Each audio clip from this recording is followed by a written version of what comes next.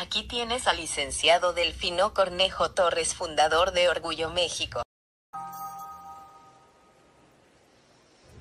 Ay, de mí, llorona, llorona de azul celeste.